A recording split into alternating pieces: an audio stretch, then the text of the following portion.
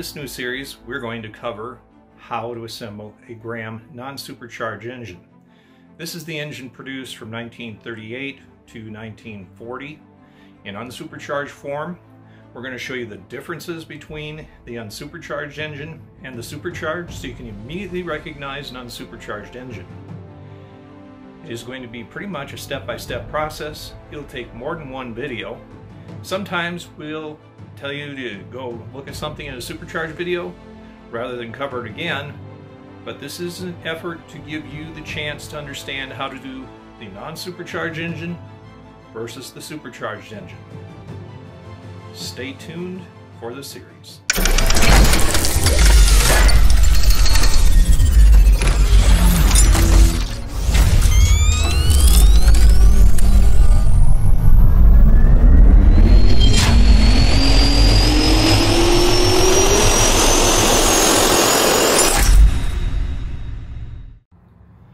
Here's how to instantly tell if you're looking at a non-supercharged block when the rest of the engine isn't around, or if you're not really familiar.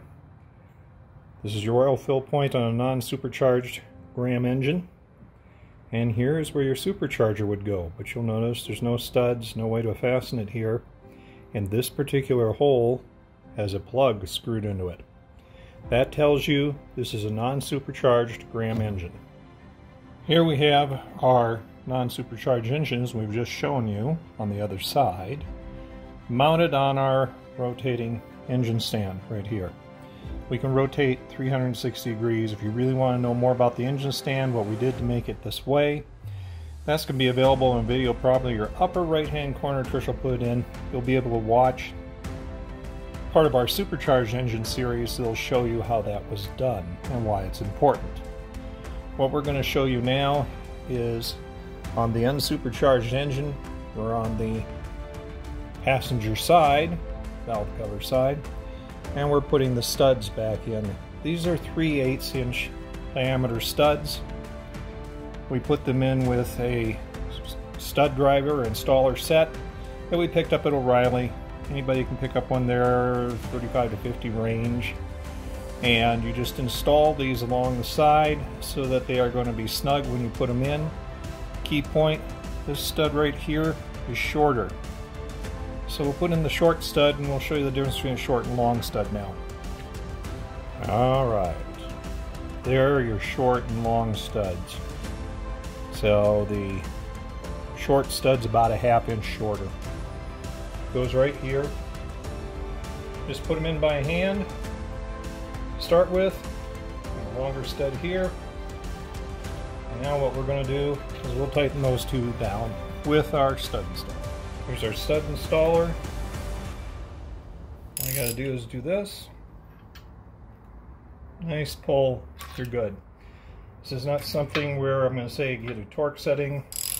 They're not going to come undone if you bring them in like I did.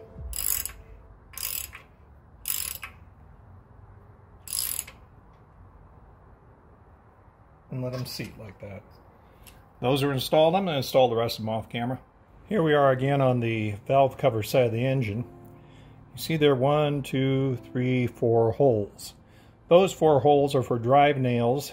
This will be where the engine data plate is going to go eventually. However, you see we have a drilled and threaded hole here. That's behind the data plate. So we're going to have to put a hole plug in here, and we want to make sure it's not going to leak, so we're going to have to use a sealant on it. Here we have our hole plug. I put a sealant on it. The correct sealant you want is Right Stuff. Don't use standard silicone, use Right Stuff for this. This will take about 90 minutes to harden up or it could be in service. We're obviously going to be a lot longer than that because we're building this engine. You want to screw this in till it's just below the surface of the block so that when we put our engine data plate on there, you won't have a little bow out at that point. Now this I'm going to wipe off with a paper towel and we're done with that little step. Here we are back on the driver's side of the engine. We're going to install our oil dipstick extension. Goes right in here. We've already pre-painted it new Ford gray. That happens to be the closest match for gray used by Graham at the time. Because the engines that I've seen at the time were gray. You get the Hollywood engines, some of them were black. Some of the engines in 40 range were also a sickly green color, which Milt Nichols says he thinks is basically they dumped all the paint colors together at the end of the day and used that to spray the engine blocks with. Now I'm going to have to tighten this up more than with hand tight. I'm going to get a piece of rubber and a pliers and squeeze it and go around so I don't jim up this particular piece any more than people have done in the past. Using a piece of sponge rubber here, I'm going to grab on to my part and tighten it up a bit more.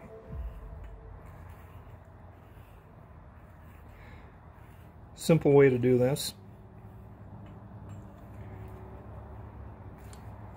That seems good. Nice and tight. Now because as I said it's new Ford gray, when we get everything put together to a certain point we'll spray the entire engine with new Ford gray.